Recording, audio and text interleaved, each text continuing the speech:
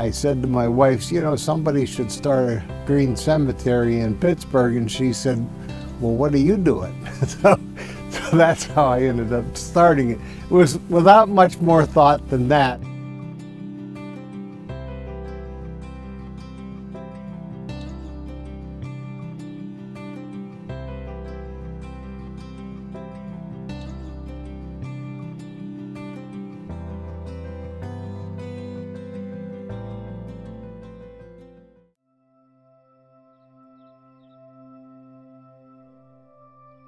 A natural burial park means that we bury people the way they were buried 200 years ago without any embalming. Everything goes in the ground is biodegradable. It's either a wood coffin or just a cloth shroud. We have a 35 acres of land and two acres is dedicated to burial, but the other is dedicated to people. So we always talk about life at Penn Forest, not death at Penn Forest. We have a master plan that goes out about 150 years. Right now we have 1,400 graves laid out, but if the park grows, we can get to 15,000 graves. We have 10 acres that are set aside as a wildlife refuge, and that'll always stay that way, so that we'll, we'll always be here. That's, that's the idea, long after I'm gone. We have Catholics, we have Greek Orthodox, we've had evangelical Protestants, we've had no religion, we've had Buddhists, we've had uh, Seventh day Adventists buried here. We haven't had it all, so there is no religious thing about it. I guess the common denominator is they're interested in the environment.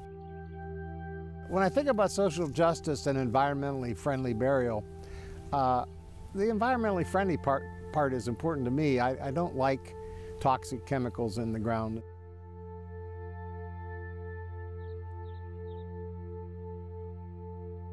We're doing a number of different things. We're making a beautiful place for people to rest.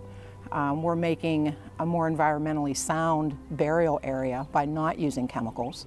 And it's less costly for the people that are doing the burying.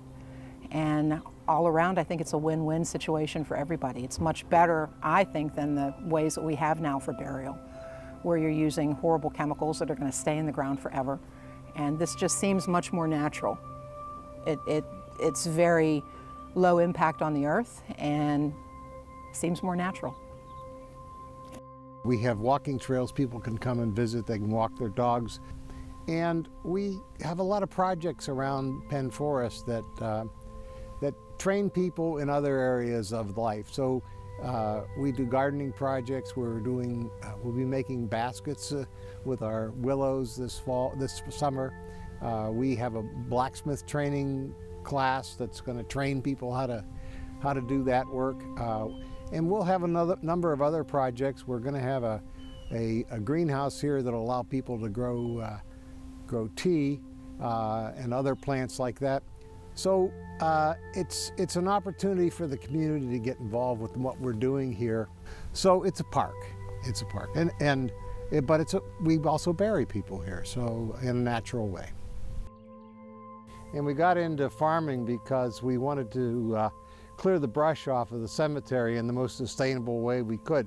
So we've, uh, we have these goats, and the goats uh, clear the brush, and, and uh, so we don't have to use machinery or or, or uh, pesticide, herbicides.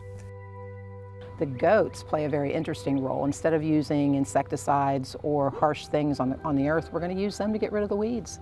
And they will be very happy to eat the poison ivy and the, all the different wild roses that grow and everything that is hard to remove by humans. They'll just eat it and be very happy. We have relied on volunteers from the time we started. We had volunteers that help us find the land. We had volunteers on committees that help us write the rules and regulations for the cemetery. And now most of our volunteers are involved in, in special work projects. So um, it, we couldn't have done any of this without volunteers. It's been very gratifying.